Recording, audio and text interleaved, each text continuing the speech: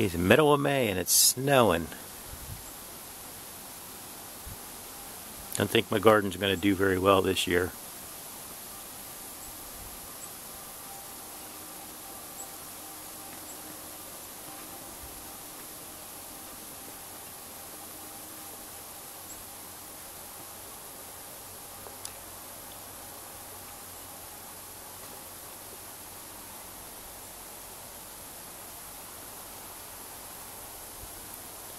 Never thought I'd have to shovel snow off of my ramp this late in the year.